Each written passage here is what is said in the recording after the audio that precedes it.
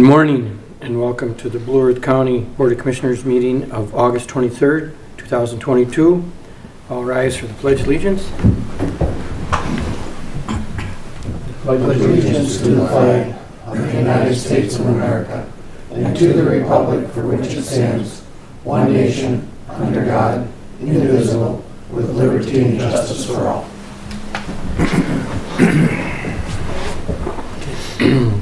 Uh, We have the agenda review. Mr. Chair, uh, we don't really have any changes to the order of the agenda, but I just would call out that um, we did provide you with a revised planning and zoning document uh, from what was in the original packet, uh, so I'd make that note.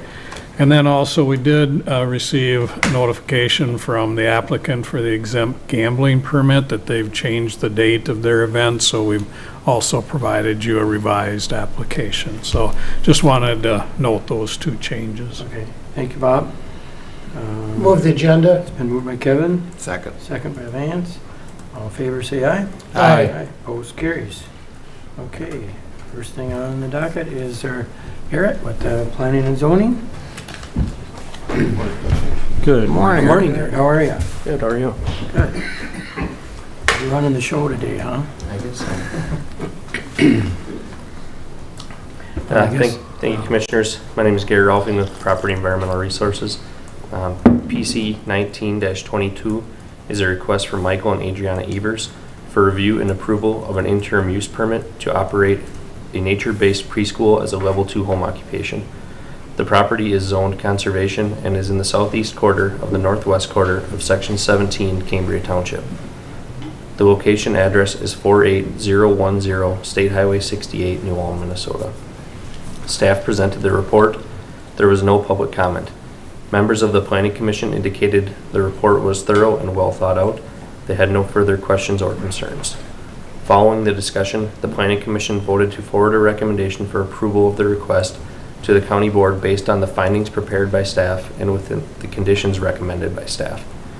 Following the Planning Commission meeting, a MnDOT senior planner met with MnDOT Access Committee to review the proposal. The MnDOT Access Committee concluded that the access closest to County Road 45 should be removed, and if a second access is desired, the access should be relocated to County Road 45, where it previously existed. As a result of the decision made by the MnDOT Access Committee, staff reviewed the applicable standards required for approval of an interim use permit. Item I states that facilities are required to eliminate any traffic congestion or traffic hazard which may result from the proposed use. The supportive finding for this standard has been amended to read, provided all MnDOT recommendations and conditions are followed, the proposed project should not have concerns with traffic congestions or pose a traffic hazard. And the board action is passage of the resolution based on findings and conditions recommended by the planning commission and with the amendment provided by staff to item I. Thank you, Mr. Chair. Thank you, Garrett. Okay. Uh, At this time, and I'll call for public comment. We'll open it for public comment on PC number 19-22. This hearing is being recorded, so please state your name and address for the record, and please limit your comments to three minutes. Do we have anybody wishing to make a comment on uh, PC-1920, 19-22? I'm uh, Michael Evers. I live at 48010 State Highway 68. Um, and I understand uh, MnDOT's concern with the westerly access. Um, however, that is the better access to our place as the easterly one is right near the bridge and has guard railing to when you're looking to the east. And it's very hard to see traffic coming from the east on that road. Um, and I understand that they want us to move to the smaller county road as well. Um, but with the railroad being right there, there would be a lot of times where traffic would be backed up from the railway, where we would no longer be able to access that.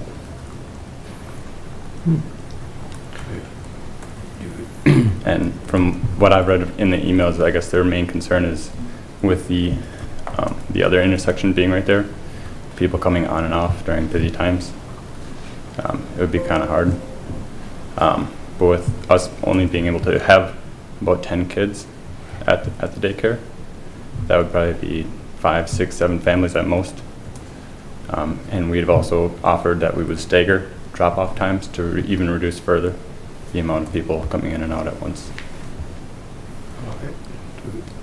Uh, comments on Garrett? Yeah, I could respond to that. Um, I met with Angela Piltiver, who's a Min, MnDOT senior planner, out on site prior to the planning commission meeting. Um, and at, at that time, it was, it was thought that the westerly access, which, which they would like to see removed, um, was the better access for, for sightlines and things like that. However, she was not the decision maker. She was taking it back to the MnDOT Access Committee. Um, and at that time, that's when they determined that, that westerly access is just too close um, to the intersection of County Road 45 there, which is kind of unfortunate. Like you said, that is their primary access to their home currently. Um, There is a guardrail on that easterly access that, you know, may prevent some, some sightlines. Also, there's, the, the road starts to curve there after the bridge. However, you know, we are not the road authority for 68, which MnDOT has control of, so that's why we added that condition in, in, or added that, um, finding to be changed there. And we have conditions in there that they just work with MnDOT on that to see if they can work something out. So both the accesses are there right now? They are, They are. um, Mr. Evers, you can correct me here if I'm wrong, but that westerly, or easterly access there isn't used very often, maybe just to and from the shed. That's correct. And that's the one they want you to use? Correct. They want you to push all the traffic there? They want you to push the four cars over there? Okay, Any other, any other comments? so Uh, let- let's just clear this up now. So, yeah. I mean, my understanding is that you're, you're saying that, I think we should move forward with this today. And then the applicant could work with the state and with your help, I would imagine. Correct, Be yeah, happy to I I help don't them. think we can, I, I think they need to discuss this just a little bit more. That just seems reasonable. It's not a, doesn't sound like it's gonna be a high traffic issue. You're talking a few cars, drop-offs. right, um, two sessions per day, maximum of 10 kids per session. Yeah. I, I, uh, I think, we'll, we'll move forward with this today, because I want you to get this rolling and get this part going, because I think this is a great program you got going here. Um, but, uh, and as long as that is written out in here that you'll work with them, I think hopefully you'll be able to work through that. That would be good. Okay. Any other? okay. Mr. Chair, so just to be clear, it's a change of use for this property, okay, which is a new permit, and review will be conducted. So is that review, is there more review to do? Is it review to be conducted, determine if there's any changes will be needed, including consolidation into one, removal, or no change? So, um, has that, is there more discussion yet, or have there some decisions been made? And how can we help impact those decisions with MnDOT? Sure, so the, the latest comments that we've received from MnDOT were that that westerly access be removed. Um, We left the condition generic enough that it allows the applicant to be able to work with MnDOT, so we weren't the ones that would hold them up if something were to change and that westerly access could continue to be used. Um, They did mention, um, it's, you can't see it exactly in this photo right now, but County Road 45 that heads to the north there, um, around the western property line. Um, Railroad tracks cross right up there, and that green space is where they would like to use um, just that area for their, their preschool, and that would eliminate a lot of that area if they were to bring a road in, in through there. But does the landowner have any impact if I'm gonna be consolidated from two driveways to one driveway, which is basically what they're saying? I don't have a choice which one of the two driveways I wanna keep? Correct. They are saying the westerly access needs to be removed if they move forward with this application. And that's Not their if they main- move forward with this application, but And if that's it's. their main, That's their they're main forcing access. them to using a driveway that they typically use very seldom, Seldom, yeah. just because for the machine shed. Yeah, because of the Well, change which in is also, I'm sure that the first driveway probably enters into, uh, you probably have garages and stuff coming there. I mean, it would completely mess up the, the uh, outlay of the property. If you, if you were forced to use that other driveway and take out that driveway, uh, that's, that's no common sense at all. But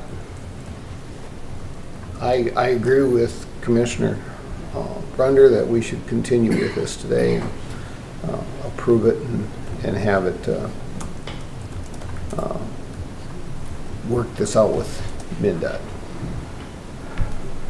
See how, that could be another, Might as well finish the public hearing quick. yeah, yeah, all right, those comments.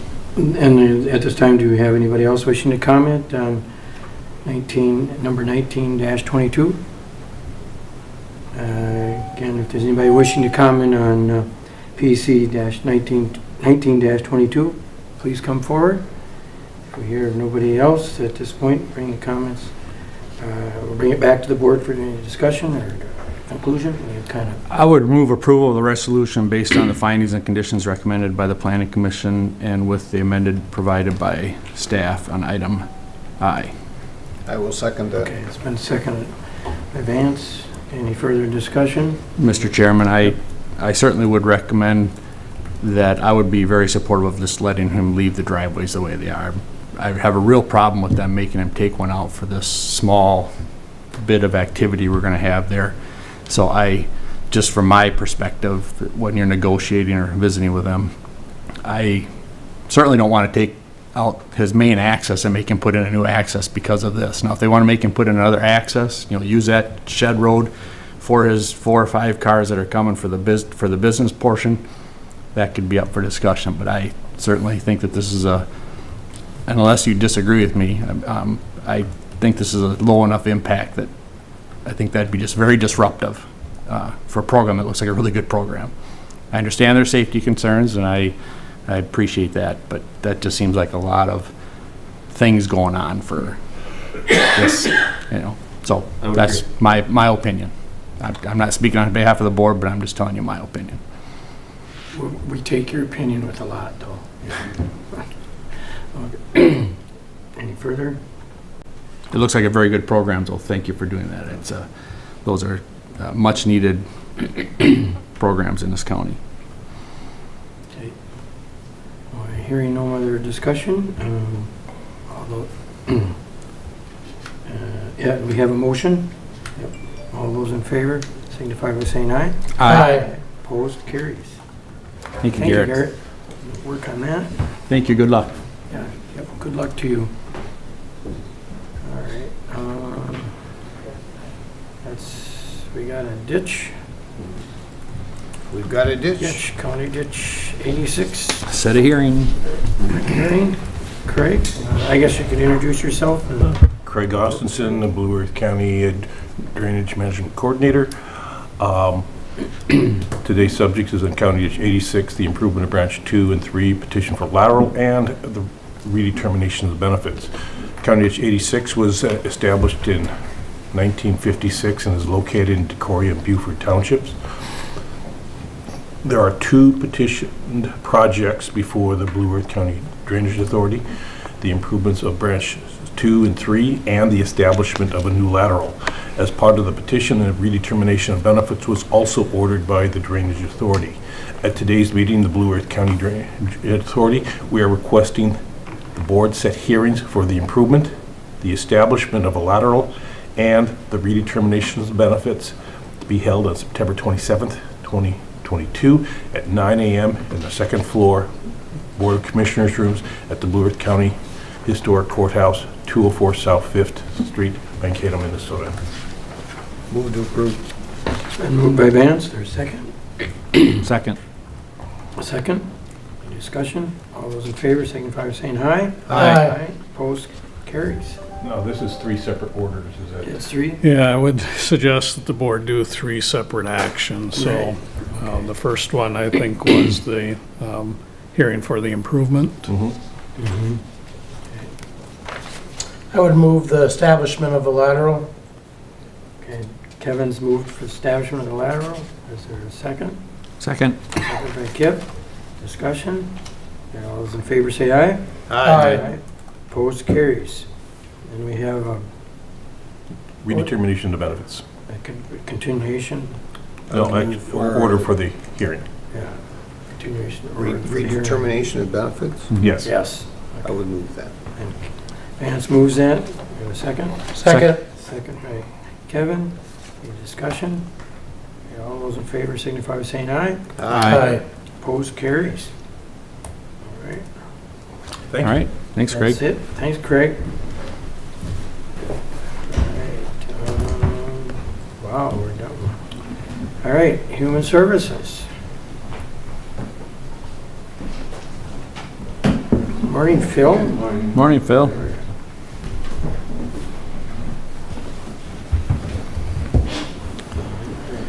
How are you doing today?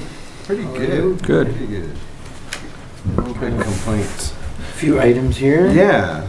Thank you, Mr. Chair and Commissioners, for hearing the Human Service um, action items. First of all, I have a couple of informational items as well. Um, The action items first being supportive housing, um, Partners for Housing. We have a second CLI um, Direct Assistance Grant. CLI stands for Community Living Infrastructure. And this project involves four counties ourselves, um, LeSueur, Nicollet, and Rice counties working together for these um, services to support eligible households that struggle with disabled, disabling conditions or housing instability. Um, They can receive support for security and rent deposits, first and last month's rent, back due rent, application fees, and the big one is essential furnishings that a lot of our grants and emergency assistance do not allow for us to buy furniture or anything that, a bed that might be needed, and this grant does. So that's, that's a really big advantage of, of these dollars. Uh, you'll see the amount at 414,700, 377,000 of that is direct assistance, and 37.7 for administrative costs. The term of the agreement is August 1st of '22 through March 31st of '24. And then one other action item, Mr. Chair, is advisory committee appointment. Ira Linehan um, is volunteered to be a member of our Human Service Advisory Committee. Mr. Linehan is a resident of Blue Earth District County 1. Blue Earth County District 1, there it is. Um, Those are my two action items. Those are two. Okay. Any discussion? I'll move approval. Move Approval for... Second. For, we do them both at once here? Mm -hmm. Okay. Um, There's a second? I just, um, is that kind of with the partners, just one thing quick with the Partners for Housing, is that a, um, is that different grant? I- don't recall the, yeah, C, CLI. Yeah, Mr. Chair, we Different? had, we had a previous grant um, that also went to the partnership that we have with these other counties, and this is the second time we were able to apply. So they're, Okay. they're held as two different grants.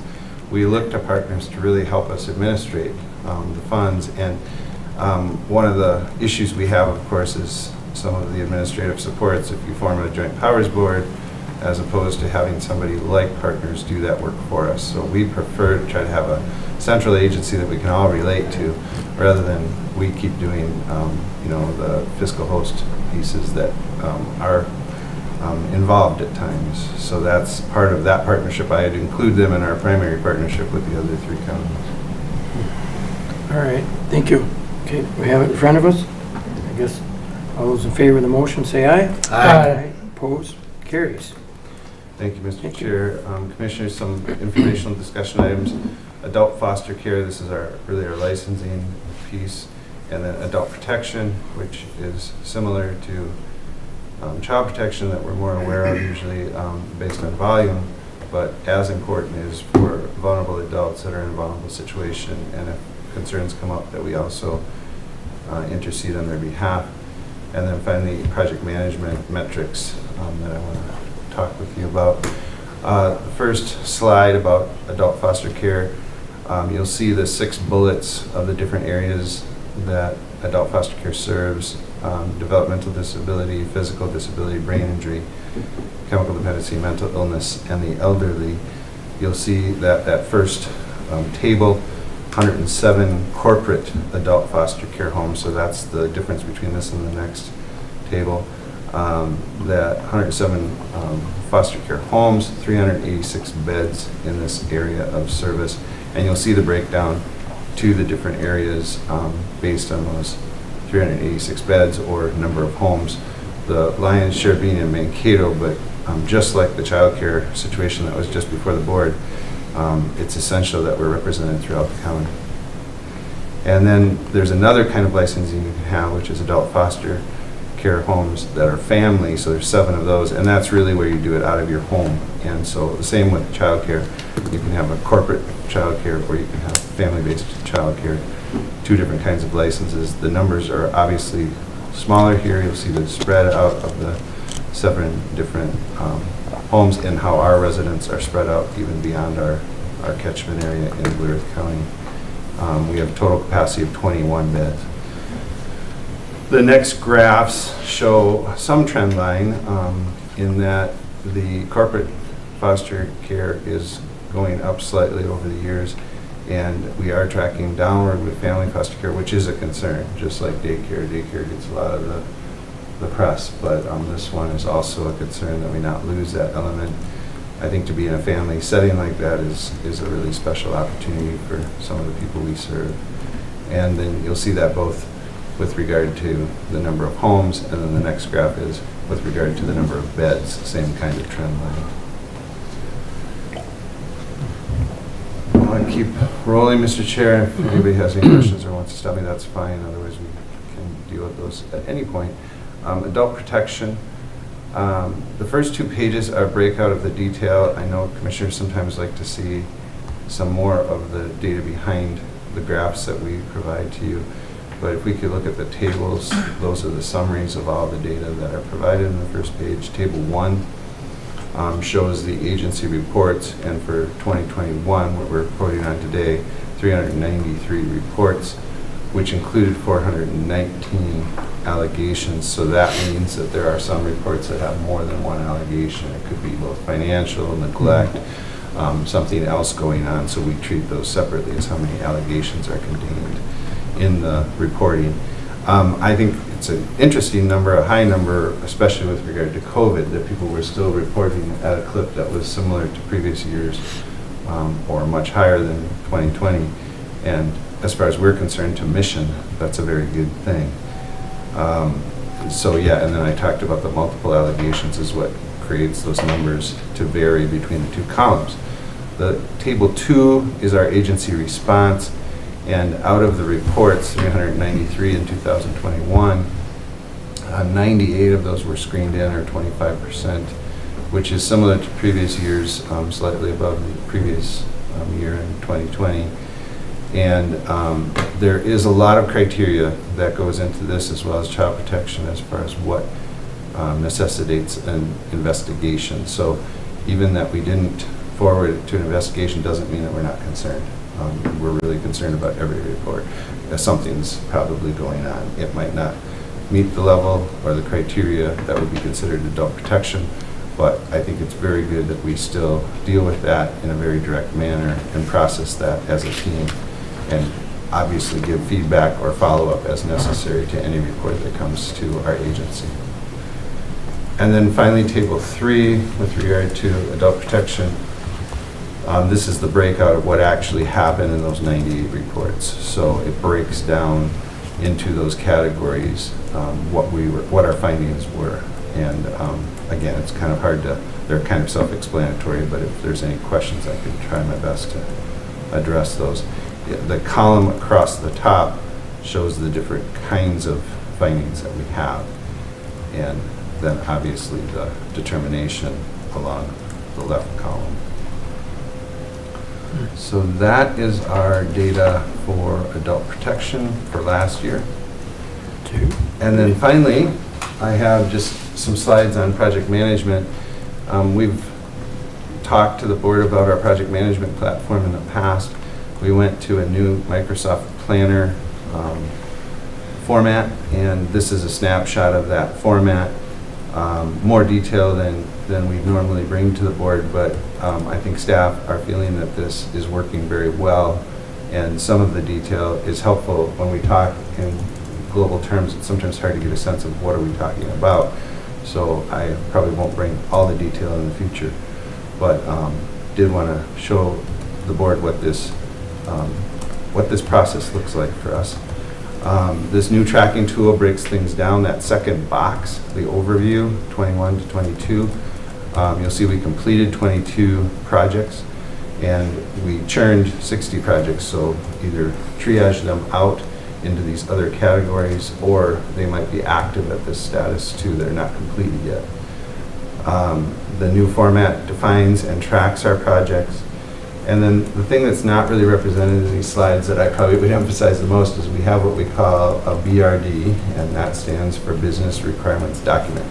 So at the very beginning of a project, really anyone in human services can bring a project forward, meaning a supervisor or any of our administrative staff. Um, IT, we cross over with a lot.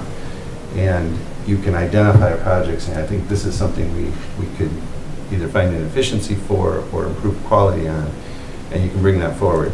We meet every other week to review those proposals using this form called the BRD. Um, The business requirements document identifies the who, the what, and a timeline. And so it just uh, gives us the structure we need to kind of track things over time. And that's been in place for, for quite some time, but this new formatting is why I included a lot of the detail. The first list of, of examples, which I obviously will not go through, um, and you can certainly ask me about them, some of them I will know about and some of them I know less about. Um, But examples of the completed projects is that first long list of just what staff churned through and what they're working on, and some of those examples. And then past that, you'll see another list, and that's the example of our active projects that are currently underway. And so we have some, you know, robust discussions about, is this still a topic that we want? We get halfway in and realize maybe it's not what we wanted, and we pull the plug. Um, Sometimes a project that we think is one project is actually three projects, so we have to separate them out and write more BRDs. But the bottom line is I wanted the board to know, this is working for us, and we have a lot of complexity and a lot of volume, and so this kind of makes some sense out of our our um, franticness at times. So um, that's why we're providing it, and I will continue to do so probably in a little bit more of a contained format. Okay. Anybody have any questions? Try to get my handle on it all. Yeah, that's a lot of stuff to keep track of. Yeah, Right. that's right. Keep in your head. I used to be able to keep things in my head, no longer true. Oh, good, then I don't feel so bad. Very good. Any- Anybody, questions, any, uh, Phil? Um, I don't think I have anything today. Good report? Uh, huh? With that, thank you much. Thank you very much. Thank you. And, Have a good day. Yeah, rest of the day. Okay. Uh, We got, or I guess we're into the min, the minutes? Yes, Mr. Chair, the first item under administration is the county board minutes for August 9th. In front of you. We have Move to approve. Vance moves to approve. Second? Second. Second by Julianne, all right. Uh, Discussion, all those in favor signify by saying aye. Aye. Opposed carries. All right, Next are the bills for the two weeks indicated. all right. I move the bills. Kevin moves the bills. Nobody- Second. Second by Kip. And no questions, and I guess all those in favor say aye. Aye. Opposed carries. And then we have, Mr. Chair and Commissioners, item number six in your packet is the Human Resources Department agenda. We just have a couple of informational items today. This is one of the shortest Yeah. HR Yeah. agendas in a long time, but I'm told next meeting we'll be back to normal and Okay. fill a couple pages. Gee, thanks. Yes, uh, so it's a brief respite. uh, But we have a filled a transport officer position in the sheriff's department, and then also uh, filled a correctional officer in the jail. And so I'd be happy to answer any questions the board might have about either of those items. What, uh, how long does it take for the correctional officer to be on his own? It's a number of months. I don't remember the Is exact number. Period, or? Um, That sounds about right, but I'd need to double check to make sure. Okay, are we up to par now with that, or are we still low? Oh, I think we are still in need of additional uh, staff, A but few yet. we have um, stemmed some of the outgoing traffic, if you will. Um, Our retention is better after we made some of those pay adjustments, and so we're slowly making progress here. Okay, Thank you. That's good to hear too, yeah. Thank you. All right, uh, Mr. Chair and Commissioners, I have number seven in your packet is a memo regarding the appointment of Ryan Short as a county assessor. As you're aware, we've been working over the last few years in terms of uh, the structure of the Property Environmental Resources Department and uh, really trying to move things along in a way that we've now um, have a structure within that department of three kind of divisions, the property and land, waste and recycling, and services and records. Um, Mark Vanderfeld uh, is our current uh, county assessor, and he's taken on more responsibility as this um, realignment of the department has been occurring. And so Ryan, uh, yeah, Ryan Short has taken on more of those kind of core county assessor responsibilities. And so we're here today asking uh, for board support to appoint uh, Mr. Short as the Blue Earth County Assessor effective September 1st of 2022. There is a new requirement that the county assessor uh, be sworn in, and so the oath of office would be um, provided if uh, the county board does appoint uh, Mr. Short as the county assessor. So um, if uh, appointed, his term would fill out the remainder of Mark Manderfield's current term, which goes through December 31st of 2024. 2024. I would move to appoint Ryan Short as county assessor. Second? Moved by Vance and second by Kip.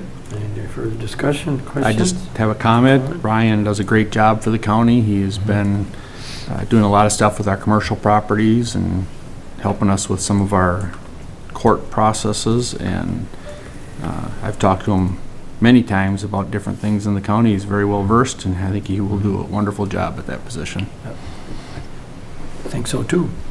All right, anything, anybody else? Okay. um, And the motion in front of us? All those in favor say aye. Aye. Opposed, carries.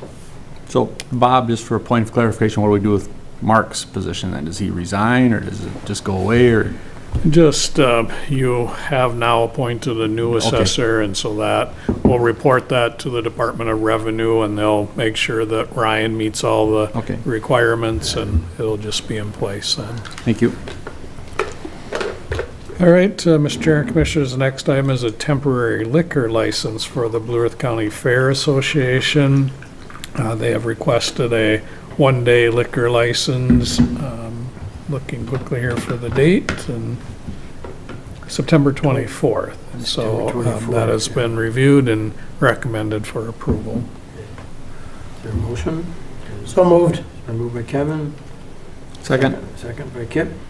Discussion. All those in favor say aye. Aye. Opposed, carries.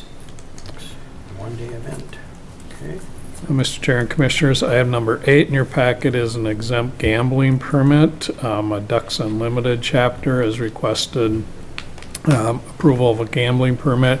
This is the document that's been provided at your seat where they did uh, recommend or uh, request a change in the date. Uh, So in the packet, it indicates the date is October 15th. I believe they've now shifted to October 29th. 29th, So yeah.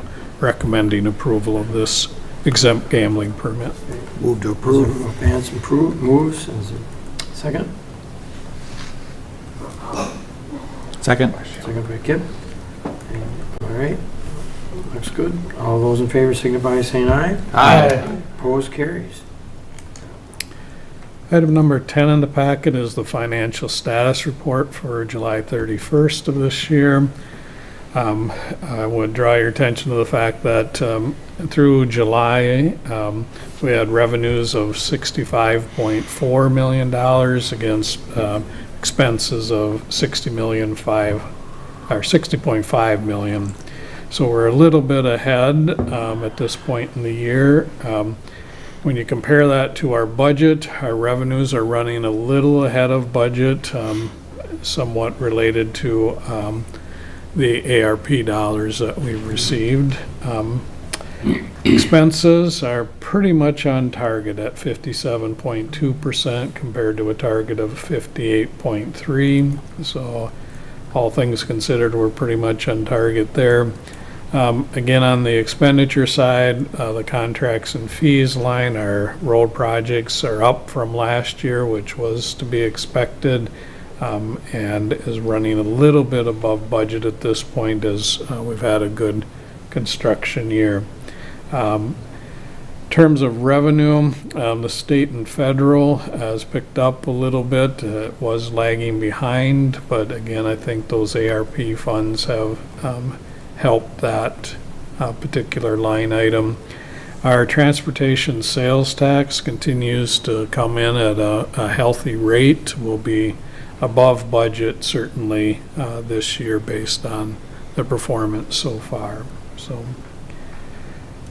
Um, in terms of the enterprise fund, you'll see that uh, revenues there are two point six million against expenses of slightly over one million. So uh, again, this year is a, a positive one in terms of revenue exceeding expenses, mostly because we haven't invested in any major equipment or cell development at this point, but uh, that will come in future years. The second page shows our cash and investment balances. You'll see at the top, our total available funds are at 76.8 million against a six-month operating target of 51.7, so that's running a little higher than normal. Down towards the bottom, the total county funds at 139.4 million um, is up a little bit from last year. Um, but again, we anticipate as we go through the remainder of the year that some of those numbers will come down. Overall, though, um, continue to sit in good um, financial position. Be happy to answer any questions that the board might have. Looks positive. Okay, all good, th- all good signs, okay. It is. Okay. um, All right.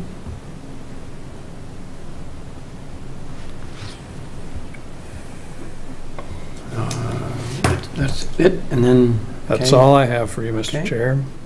all right, uh, well then, I guess we get into, uh, gee, we're already there. Uh, Committee reports. Who wants to go first today? I can start, Mr. Chair. Mine's not terribly long today. Yeah, we'll take the ambitious one first, okay? Kim?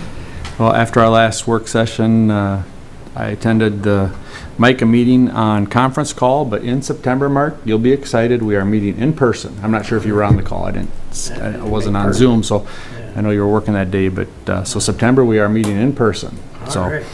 we will be back at it there. Uh, They had a, just a regular report getting spooled up for the upcoming platform we'll be working on, so I suppose we'll start that in September, October, so we can get that all done by the end of the year.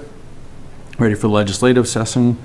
Uh, We had our board work session, we had our highway shop, uh, neighborhood meeting again, which I thought went very well. Bob did a great job uh, trying to answer the questions, but um, we we muddled through it, and I think we appeased some people, but we still have uh, a lot of work to do there yet.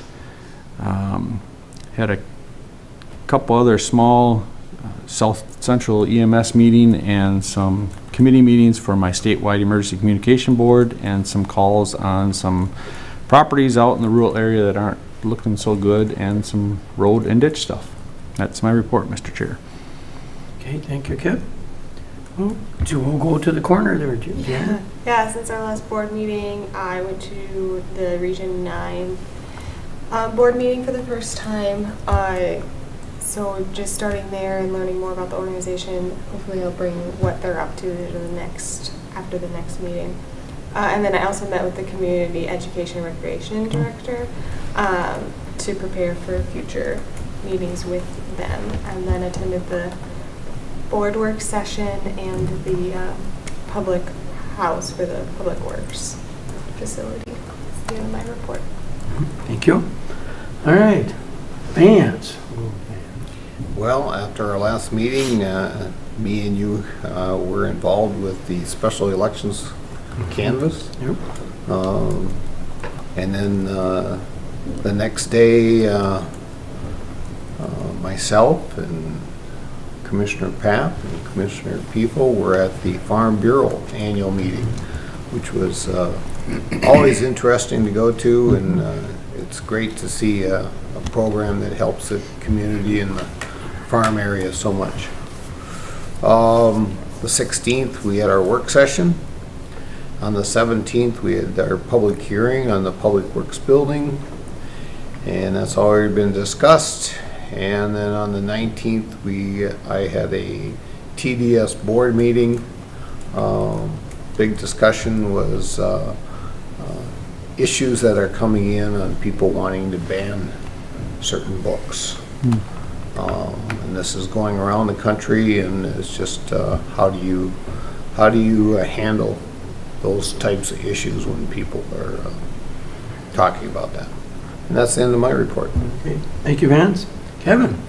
Since the August 9th uh, board meeting, uh, it's already been mentioned, has been uh, the Region 9 uh, board meeting, Farm Bureau annual meeting, work session, the Public Works uh, neighborhood meeting number three. In addition, um, I attended the drainage work group on August 11th. Um, On August 12th, uh, Bob and I participated in the uh, Vine, uh, um, at Vine at the uh, True uh, uh, Joint Powers Board uh, for the Town and Rural Ex- Urban Express uh, as we looked at that budget and were updated on that annual meeting. Um, Also attended the the EAA breakfast. Um, Kind of concerns, calls I've got has been primarily MFS composting, CD52, uh, of course, the Rapidan Dam, a public workshop, and I would just also add a couple of upcoming things. Uh, Tomorrow, Blue Earth County uh, will be uh, kind of hosting the Rural Minnesota Energy Board, um, are coming to to Wilmarth to tour that facility.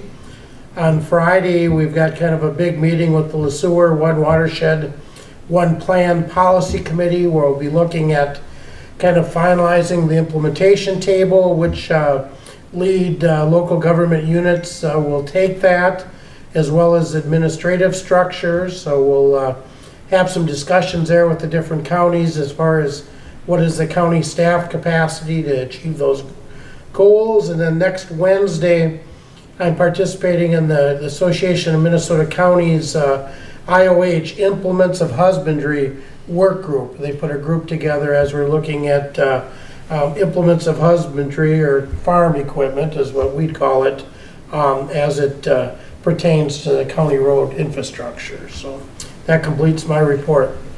Thank you, Great Kev. having you on that group. It's good. Um, Yeah, I don't have, let's see, uh, as Vance said, after a board meeting last time, we did have a special election canvas, I was able to make that. And then we had on the, uh, oh, a little meeting on ASA, our All Seasons Arena on that Monday. Uh, That's being with our uh, improvements there. Uh, Then we had the, uh, our work session, and um, after that, I had the, I did- we had our public, yeah, hearing, and the Public Works Building, you should say, then on the 17th, and, um, yeah, that was, and then on, this morning, I've been up bright and early, wishing, what brown or bushy tailed, whatever, um, uh, Airports Commission meeting. It- It's, it was dark yet, so come on, I know it was early for me. So that concludes my report. All right. Mr. Chair, uh, just an update to some of the questions Commissioner Stuehrenberg had. Um, Staff have helped uh, provide me some answers to those. Uh, A correctional officer, uh, full-time, it takes six to seven weeks uh, to complete the training, and 10 to 11 weeks if a part-time staff. We currently have eight openings for full-time or part-time, and we have five people that are currently in the hiring process with the hope of uh, Great. filling Thank you some of very those much. positions. So that's the update on those questions. Okay, thanks, Bob. Very good. Do you have anything else for the good of the order? Move to adjourn. Second. It's been moved, adjourn, and second by Vance. Okay, all in favor, say aye. Aye. Meeting adjourned. Good job, Mr. Chair. Uh, And then we're, um, we'll be still busy here.